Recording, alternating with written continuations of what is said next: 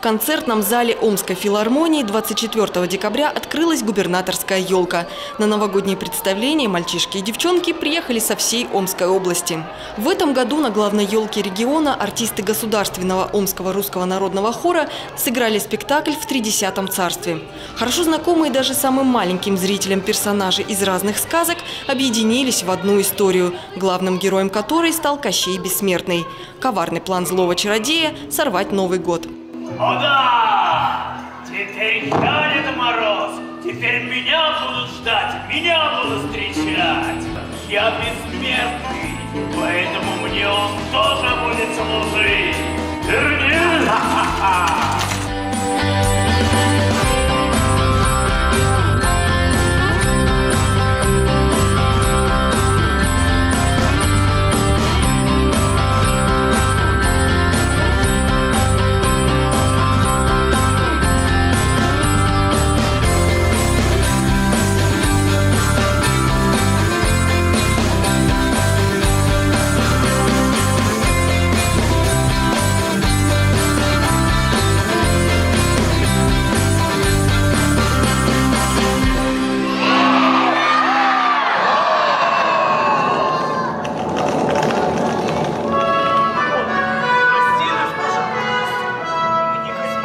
Спасибо, ребята, что позвали меня.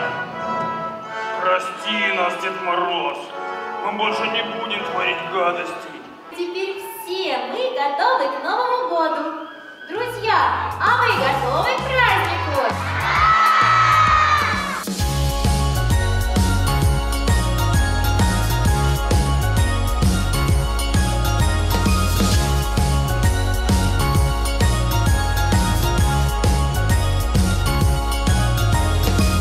Сюжет у нас оригинальный, необычный.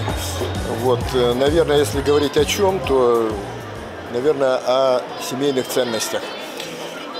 Есть там такие вещи, которые мы стараемся внушить детям, что родителей всегда нужно слушать. Мы старались сделать разнообразной сказкой, чтобы было интересно для всех категорий.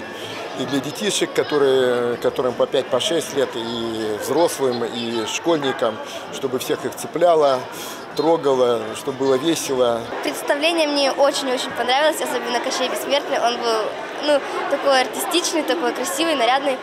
Ну, вообще он был веселый. Из сказки кто понравился? Кощей?